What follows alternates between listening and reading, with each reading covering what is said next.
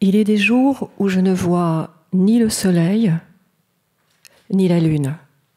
Le regard est éduqué pour rester à hauteur de vitrine, regard gondole, fausse, Vénétie.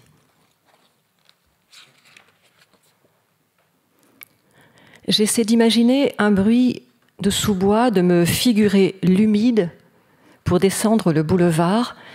Écrasé par une multitude de sacs, je sens jaillir mes côtes, je progresse, les mains vides.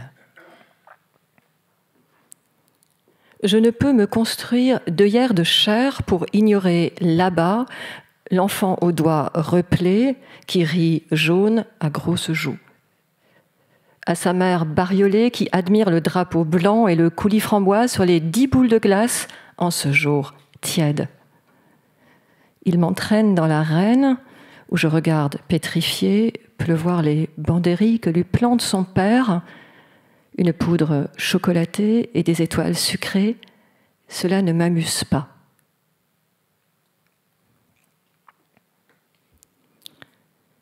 J'y un instant l'enfant au pilori que l'on torture sans bruit en public sur le trottoir du boulevard, jambes écartées, il est assis, les yeux dans la crème.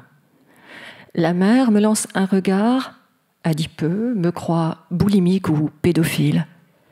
Pourtant, je ne suis amateur ni de glace, ni d'enfant. S'éloigne lentement l'enfant qui ne court jamais, l'un de ces rares êtres à ne pas se contempler dans les vitrines des magasins. Pas besoin d'être divin pour deviner sa silhouette quand je vois ses paupières fixant le bitume, fermées pour éviter le miroir des flaques.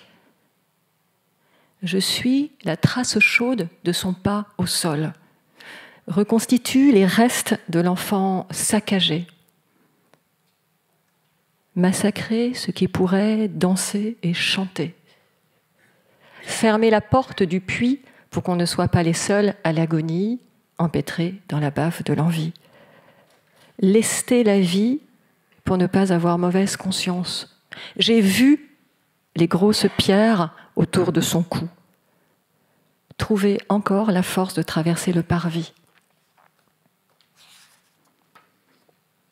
Il faudra bientôt planter davantage de pins et de chênes pour les cercueils XXL et dire que l'on manifeste contre le foie gras.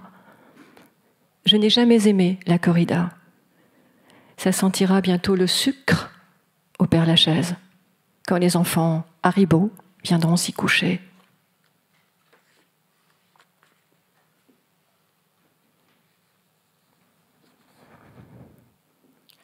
J'irai m'oublier dans un mouroir, voir de combien de vivres sont capables ceux qu'on dit en retrait.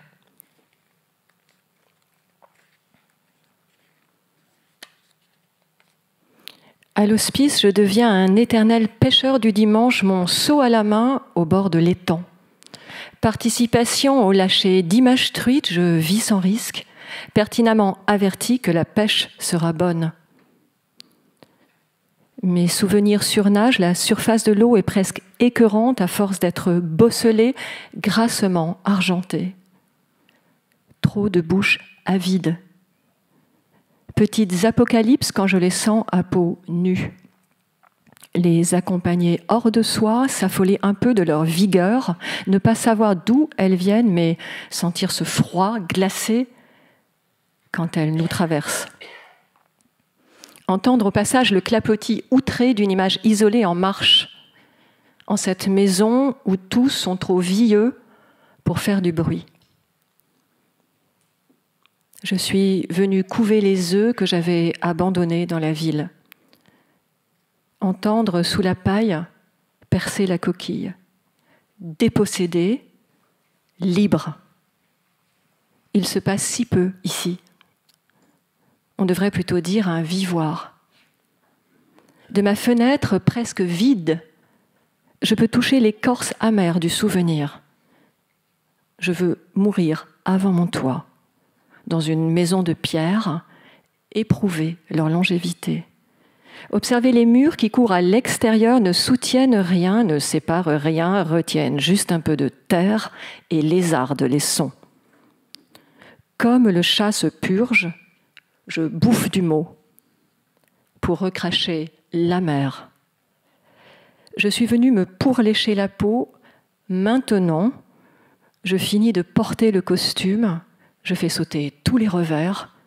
Je ne grandirai plus. J'écris sur l'envers des emballages. J'en suis à ingurgiter les pépins.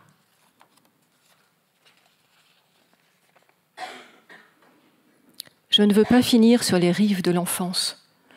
Je ne demande qu'à conserver l'eau du souvenir, à mourir liquide. Bruit étouffé, hydraté, ne percevant plus l'idiolecte médical, l'équipe palliative avec son grand manteau, je veux apprendre à mourir dans un groupe de vieillards nageurs, m'inscrire à des ateliers de respiration, cours de chant pour crier la faim, crever en eau douce, pas dans des draps blancs. Vieillard ondulant, mouillé, l'oreille cotonneuse, apercevant à la surface l'équipe laborieuse et tirant soudain à soi le fil d'argent. J'entrai avrai voluto urlare e ero muto.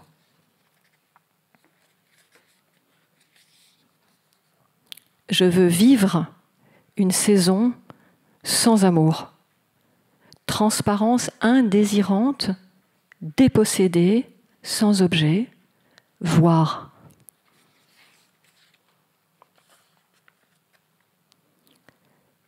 Du couloir ne me viennent que des journaux gratuit. Un quadragénaire a été placé en garde à vue à Massy dans l'Essonne après avoir violenté sa compagne de 27 ans. Hospitalisé, elle aurait été brûlée à deux reprises avec un fer à repasser au niveau d'une jambe et d'un rein. Le suspect lui a ensuite tendu les cheveux et uriné dessus, a indiqué une source policière. Il reconnaît partiellement les faits et aurait justifié sa violence par une réaction de jalousie. La mâchoire bouge encore. La vessie se contracte quand la larme coule. Je sens lourdement ma paupière l'accompagne. Si mon visage est onde morte, mon sourire bouge encore. Puis se relever encore, vivant de muscles, encore une vie paupière, malgré l'être sphincter, bien plus vivant que les insectes. J'entame ma dernière semaine, cette fois plus d'éternité que les papillons. Homme flore, mon vol fragile, une pesanteur morphine, humus, me voilà, ah, vous grouillez sous la mousse, mais homme de câble, homme sonde, oh, mon cri est diagonal, encore. J'abandonne mes souvenirs d'amour, mes images et mes sons pour laisser ensevelir en catimini, loin de mes icônes, sous un drap synthétique, même pas blanc. Étrange troc de liquide, homme nuage, on m'injecte, je déjecte, vie. Où personne ne contemplera les images arrêtées dans ce corps, 70 kilos de mémoire. Sans force, je tente de les incanter, mes fruits malmenés dans ce brasier de douleurs nouvelles, je leur donne mon rouge, mon blanc, moi, bête, joue encore. Que d'écart en moi, dernière tranchée, laissez-moi vivre, reconnaître, regarder au-dedans de l'enveloppe douloureuse à la matière indéterminée. Et dire que j'étais peau et j'aimais à toucher mes doigts plastiques n'ont plus de plaisir à l'acrylique. J'avais les cheveux de Durer et marchais à l'amour sans craindre le moment linceul à l'odeur de lessive rose que l'on mettra sur mon visage dans quelques tours de cadran. Et puis le bruit du bac. Charron, semi-liquide, jaune, brun. Je ne peux plus descendre plus bas, propos médicaux, sibyllins la force de l'évanouissement. Je quitte faiblement le champ.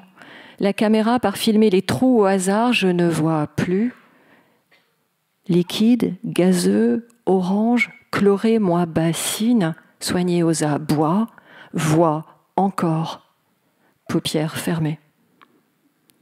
En contrebas, implosion grise, la syntaxe se délite. Les plans arrivent à grotesque, je vais d'alvéole en alvéole sans amertume de vivre. Je ne rencontre que main et sourire. Je quitte le douloureux hospice vers les voies vives, que des inconnus me repeuplent. Ce ne sont pas des ombres qui me frôlent inconsistantes, non, toute ma vie restante, le dernier bonus track, l'ultime cadeau, se gonfle le souvenir d'une de tes mains, souvenir baudruche. Chaque sourire esquissé, passé, fait bouger l'aiguille, je ne vois pas la goutte rouge qui perle dans cette encore vie. Tout mon corps se cabre pour laisser éclore le son des voix qui recouvrent ma honte incontinente. Mais dans ma dernière sortie rupestre, au moment de l'angoisse sauvage, de l'ultime verdâtre, je plonge ma main dans mon rouge et viens avide surimprimer mes phalanges maigres aux vôtres, grosse paume dans la caverne, badigeonnant à la va-vite mes contours sur vos ombres vives. Six études de main droite de femme recouvre le peu de souvenirs d'un doigt gauche se rétractant après avoir touché la peau de mon cou sous l'étoffe de l'écharpe par erreur. Chair de poule, émotion évaporée, anonyme. Ce geste perdu à l'art qui me transperce en couleur, dernière image qui adviendra. Je suis seule avec ce halo d'amour que je n'ai plus la force de maintenir, me dirais-je alors au moment vert. Aucune main ne vient à moi, mais je me préfère difforme qu'uniforme. Mes doigts n'ont pas la force de s'élever, de se rejoindre en prière sur fond bleu. Mon petit doigt n'a pas cette délicate inclinaison.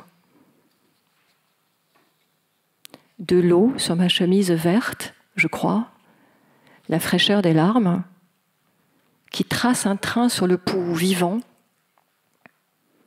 2 mm transparents dans une purée intacte, de ce plateau qu'on me retira à 13h25, d'un temps de surface. C'est la fin d'un repas, rhapsodie vivante.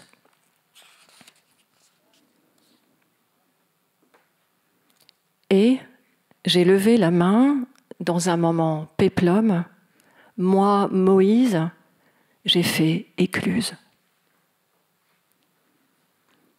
le flot de souvenirs arrêté au vol, j'ai couru dans le couloir de l'hospice. En un clin d'œil, on reconnaît les typologies des cantines. La photo, certes, est passée au burineur, mais sinon tout y est. Des tables sages, ongles rouges et anneaux d'or sur de vieux lobes d'un côté, ton blagueur et verre de rouge de l'autre, un grincheux par table, un jovial et un imbécile heureux, quelques visages qui s'excusent d'être et de manger encore. On les évite, deux têtes se penchent pour se jeter des blagues au visage ou derrière les épaules. Et puis les tables où s'assaillent les fortes têtes, jamais à court de bons mots collectifs, pleines de connivence avec l'autorité. Les forts qui partiront en dernier. Je ferme les yeux à la vue d'un couple qui fait pilulier commun. Leurs mains tachées se mêlent. Chacun vérifie la dose de l'autre et je crois avoir surpris une légère caresse d'un doigt. Je ne veux jamais n'en voir qu'un seul et un formidable bruit de mastication 30 minutes durant. Je n'entends que le son humide, étouffé de la blanquette de veau. Observe les gestes de ceux qui retirent à la main les fils de viande coincés entre deux couronnes et pestent contre la cuisson qui rend plus filandreuse la viande. Et maintenant, on est passé à la salade de fruits et j'entends parler de Germini l'évêque.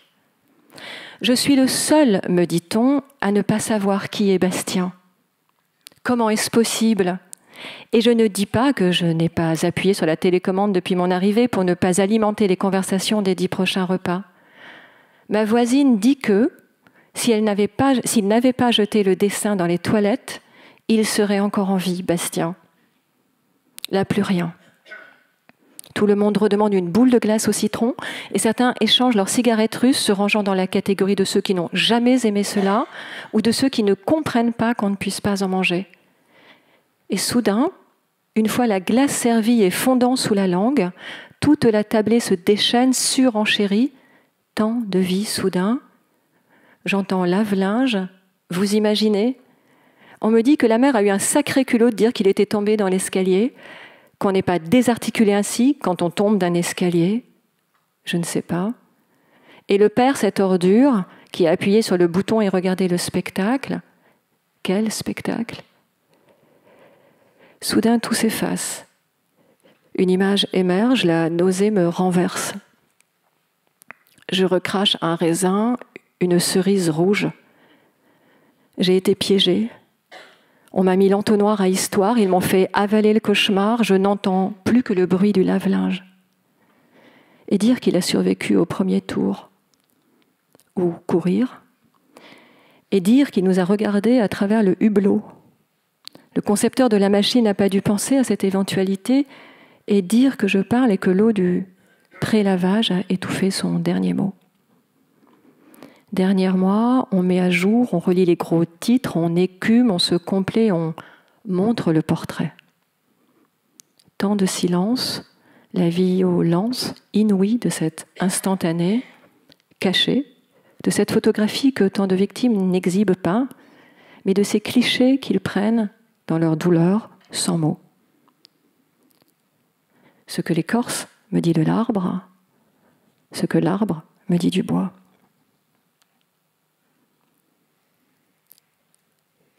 Je me tiens accroupi comme un glacier incontinent, oublié à l'œil, glacier expirant en transparence. Si l'on savait comme je m'oxygène aux mots, renaisserait-on à m'abreuver de faits divers? Je chois dans les cercles blancs. La surface s'éloigne, je dévisse à bon train, mais la paupière ébahit les bleus de l'eau, où est-ce le ciel qui l'absorbe? Trop buvard et je m'évase encore les yeux baies. Soudain, j'agis de mon regard de ballerine. Je regarde le nuage à la fenêtre et tente d'entendre l'autour je respire. Quel courage parfois que de continuer à respirer. Je ne verserai pas ma première larme sur les chaussures, chaussures noires du torero. Il a regardé à travers le hublot sans haine, a fixé les yeux de celui qui écumait, sans qu'il ne lui vienne à l'idée de lui planter une bandérille, yeux aimants, embuée par la lessive, une question muette, étouffée dès le prélavage, une syntaxe désarticulée par la culture d'une autre syntaxe. Était-il ballerine? Le taureau seul n'aurait pas eu l'idée de la machine. Elle avait les yeux menaçants, alors il a fallu des ustensiles pour faire taire les paroles du regard, des battes, des clés, des crosses, des couteaux. Que de produits manufacturés pour faire taire le bruit de nos cités.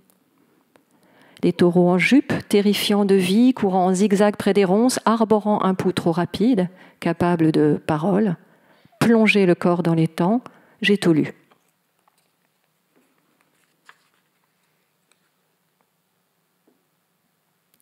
Réinvestir la forêt, faire bosquet. Et le taureau passe de loin dans un bruissement de feuilles inventer des clairières paisibles.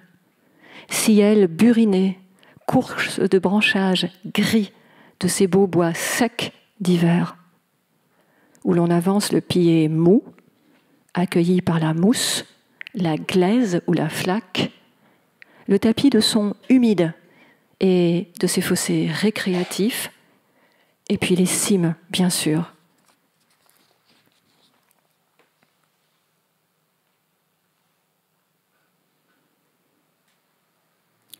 M'accrocherai-je, Léopoldine, au canot, me cramponnant à bout de souffle sous l'onde? Ne renonçant pas à l'intérieur de la barque engloutie, m'attachant au banc, voulant conserver l'ordre des choses sous l'eau, sein de ma robe blanche en lincelet Gonflerai-je mes poumons d'eau incrédules, les bras enroulés autour de ce que je connais? Une crampe blanche me parcourt.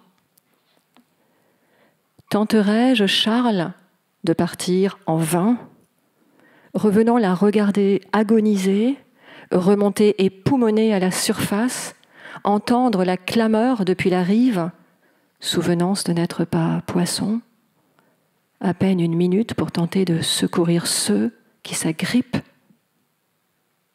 Agir, chercher les poches d'air, croire que l'on peut être au dehors et sous la lame, et retrouver l'aimé sans pulsation, gonfler d'eau, ibris branchie, respirer l'eau. Ou partir vers les bulles prisonnières, toucher en chacun les glaciers bleus, aller dolent dans la cité, frôler et voir, ressortir de l'onde, la robe blanche trempée qui pèse, mais oser faire le choix de respirer, les pieds nus et les mains vides. Merci.